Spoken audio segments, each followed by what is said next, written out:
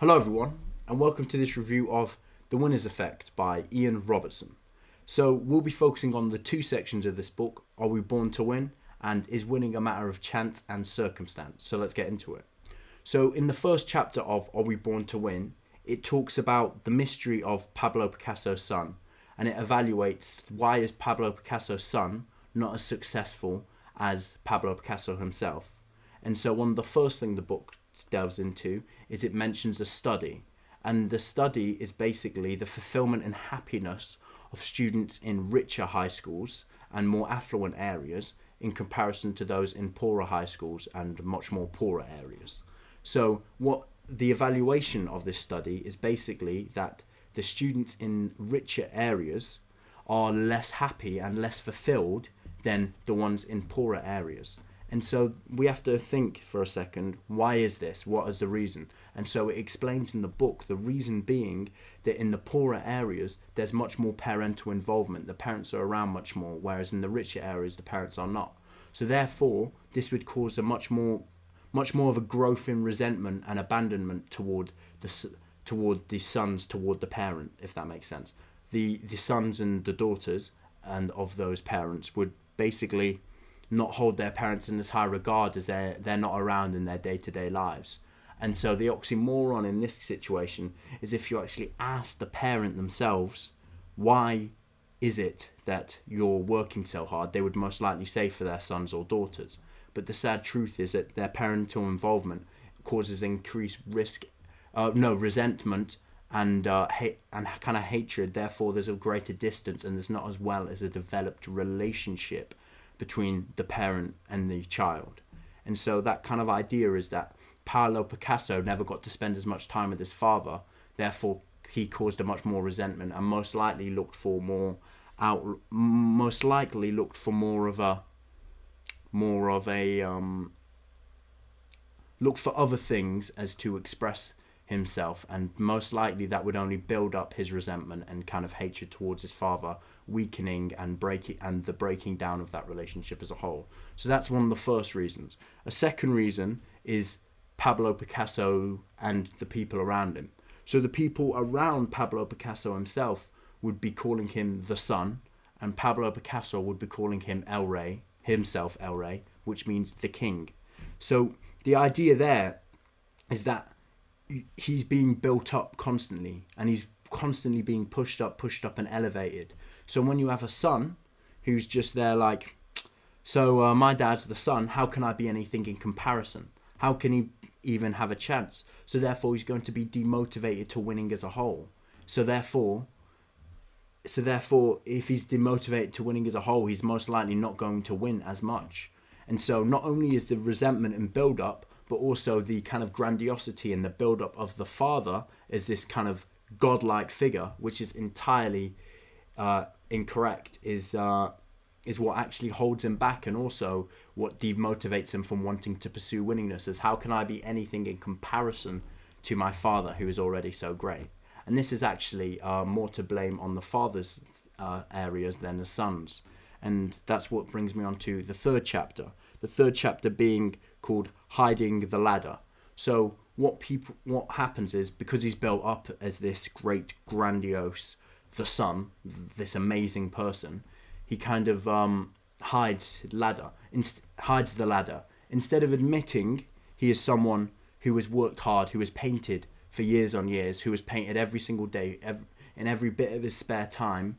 He's instead kind of gone to this idea of it's God given. I'm a God. This is was provided to me. There was no work went into it. I just became this amazing painter that could uh, basically move people. See that kind of idea that the process is being hidden from the son. and so the son can't actually see the process as a whole. So therefore, he thinks there is no other path to actually reach this kind of to reach success and to win in life. Is it's being blocked by his by his father kind of not explaining and these people around his father allowing him to be pushed up as a figure and him kind of staying there as a meager human who regardless of how hard he works will never be anything in comparison so that brings us on to genetic fatalism and so genetic fatalism is how many times have you heard about the super gifted student in a class maybe of yours or on the news about how gifted they were at such a young age and how basically they either turn into a crackhead or a or a drug abuser or one of the things. And so it del- delves into the psychology of genetic fatalism. And so the psychology of genetic fatalism is actually quite interesting. The idea that you're you're you're genetically born with your intelligence. So by being genetically born with your intelligence, there is no way you can actually improve or get better. Well, mentally you think that at least, not actually that is not actually the case for per se. So it talks about this kid who went to uh, one of his um, clinics and the parents were very stressed saying he's failing and it's because he's not been it's because he's had the, all this kind of idea his entire life that he's smart he's smart he's smart the parental pressure pushed on him has said he's smart he's gifted he's smart he's gifted so therefore people who have this idea of thinking that their smarts are much more inherent are therefore much more likely to be to have increased cortisol levels, cortisol being stress, much more likely stress, much higher stress levels, sorry, uh, in comparison to failure. So by having these inc- increased stress levels to failure, therefore means that they will um, basically kind of reject the failure. So let's say they failed a test, for example. So they failed the test, they got a, a B when they could have got an A. All right, that kind of idea. That therefore their response to that would be much more negative. Whereas someone who's been told that their that their intelligence is not genetic and can change, what they their personality is therefore not rooted in that intelligence being a part of them because that intelligence can change and shift into whatever. So therefore their their perception of failure is much less. So therefore they will have decreased cortisol levels, so decreased stress to the failure, therefore causing them to not kind of to not um, shy away from it and therefore improve upon failures. So it's a kind of a it talks about a fundamental flaw in society that we give chil- we give children this kind of these names these uh, these labels and we kind of say you can't you can't shift from them because we've placed you in that and that's a part of your society. And so from the aspect of social conformity those children take on what that society has said and from what that society said has ultimately led to the downfall of those children because those children would be much more susceptible to shying away from failure. So therefore they'd be much more looking towards outlooks to get away from that failure. Anyway so that's a kind of idea of genetic fatalism and then the curse of parental ego is also involved in genetic fatalism itself. Genetic um, no hiding the ladder not genetic fatalism. So what i mean by the curse of parental ego is i mean that the parents have an inflated self-importance to their sons and daughters. And by having that inflated self self-importance it means that they are much more likely to uh, hide the ladder. They're much more likely to say again this is a god-given gift. I, I did not have i did not work my ass off for it that kind of idea that they hide they're, they're hiding the ego and i've obviously spoken about this in previous videos with ego as the enemy and how that basically inhibits the son or daughter from actually, the son in this case being Paulo, from actually thinking he can achieve anything of merit or worth. Anyway, so that's the idea. So, in conclusion, are we born to win? No. Winning is dependent on your one, your need to achieve. So, your need of achievement. And that actually brings me on to something I missed out. So, last thing in this is they did a study where they offered money and then another study where they offered where they were testing the intelligence. And what you found is the uh, money study. Uh, there was less there was less desire to walk toward the money as they felt they were being given it. They felt that it was expected if they felt that it was paid for. Whereas the test of intelligence there was much more motivation towards it and there was a much more it was taken much more seriously because their intelligence was being proven. And by being proven there that they have a higher level of achievement. So the higher level uh, need of achievement not the higher level of it but the higher the higher the ability to need to achieve, therefore influence them greater. So no, we are not born to win.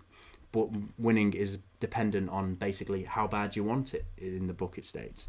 Now, the second section is is winning a matter of chance or, and circumstance. All right, so let me get into this. So the idea he spoke, speaks about these fishes. This is quite funny, but it, it, it does make very much sense. So I do promise you, it will be worth listening to this. So it talks about this fish. And so basically, let's just, if I was to make this in societal terms, it can be easily understood. I'd say alpha fish, beta fish, yeah? Alpha fish and beta fish. See, so the alpha fish is much greater than the beta fish, and the beta fish is much more fearful of the alpha fish, and the alpha fish is much more aggressive. So he looks into why these, why, and know, no, this is where I miss something out. So, yeah, alpha fish and beta fish. And then he talks about why can this beta fish become an alpha fish? And so what he does is he delves into the reasons as to why that beta fish literally develops the characteristics of the alpha fish and literally takes on colors and therefore goes from infertile to fertile. So let, I'm going to explain basically his reasons for it and how he applies that to other metrics in our society. So one of the first things he speaks about is investment bankers. So investment bankers uh, in London, for example. So when you're investment banking, you're basically you're investing so you can either win or lose on the day. And he found he found that when he reviewed a study, the study stated that the greater the win on the day led to increased levels of testosterone in the investment bankers. That increased level of testosterone therefore caused them to be more aggressive and take higher risk toward toward basically investing more, which would therefore compound itself onto basically earning more because they've taken a higher, greater risk. So they could either result in more losses, which would decrease testosterone, or greater wins, which would actually increase it. So that that kind of idea that the more you win, it can basically cause your testosterone and hormonal levels to increase, therefore causing you to go from infertile to possibly fertile, is in this Fisher's case. Anyway, now the second example he used was uh, the World Cup, 1994 World Cup of Brazil versus Italy. So I believe Brazil won, and so what they did is they tested the testosterone levels, and so the testosterone levels, as I'm sure you would assume from what I've just said, uh, the it- Italians' testosterone levels as a country actually decreased, so therefore they were much less rebellious. Whereas in Brazil, they were much more rebellious. There was there was a greater level of increase in testosterone, so there's a greater level of rebellion, breaking of the law, smashing up things to celebrate their win. So that kind of idea that you're winning and you're losing can actually influence your hormonal levels as a whole. All right, so that, there's that's that one. Then it talks about the winner's effect. So the winner's effect is basically if you win once, you have a greater chance of winning uh, twice. Basically, similar. So he used the example of Mike Tyson. So when Mike Tyson first came out of jail to build up to build him up and his confidence and his beliefs basically, they made him fight two really easy opponents. I believe that's what they say. And these two really easy easy opponents get completely destroyed by Mike Tyson. And then when he goes to do a title fight, he completely destroys him. And that's based on the fact that he's already gained and built momentum. And so what they then do is they talk about how this this winners effect only actually works on home territory.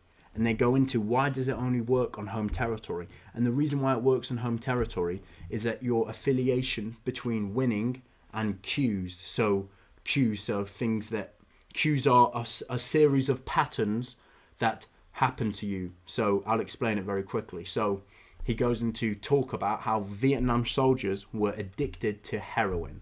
It's quite i know quite extreme.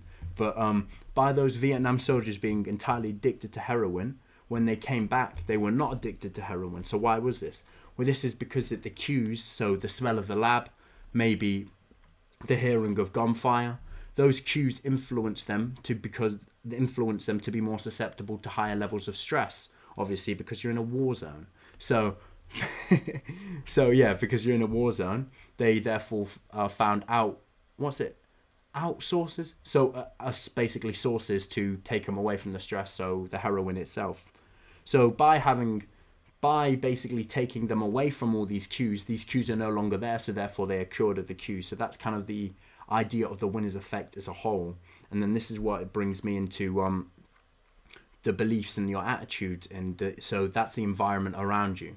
And so i'll explain that later. So so then next broad point is the body language. Body language dictates your power. So if you slump for example on a chair your your i believe your testosterone would decrease and you'd have an increased level of cortisol. Cortisol again being as i said earlier stress.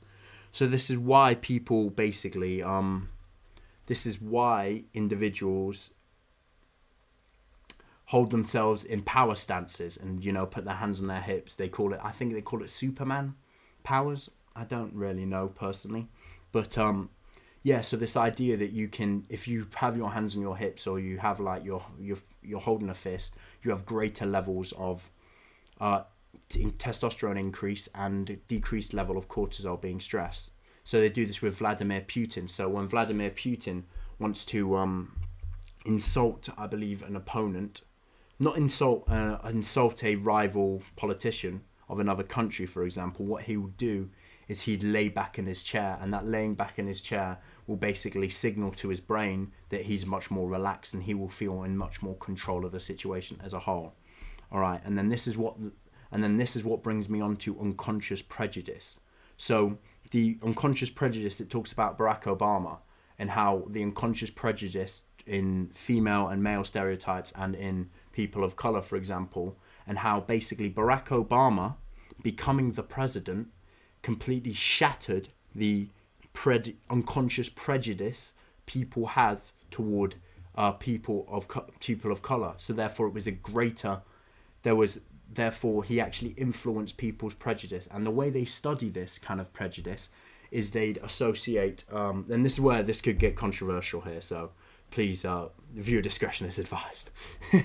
but no, so um, they basically get you but they give you a button. So let's say powerful and weak. And then they do woman maybe weak and men powerful. And then maybe they do woman powerful men weak. And they get you to press the button each time. However what they do is they make you press the button so fast that you actually have no idea your unconscious brain is activated and your conscious brain is not so what they did is i'm sure you can expect and this is why i assume i'll get the most hate is uh, they found that um, men powerful was was uh, pressed more than with and was associated more with men powerful than and woman was associated more with weakness. So regardless of what people actually say or say or say they believe in is actually not true as in comparison to their unconscious desires. So Barack Obama completely shattered this kind of pre- unconscious prejudice by actually becoming the first black president of America. And so by doing that, he yeah, again shattered the unconscious prejudice. And this is what brings us on to beliefs.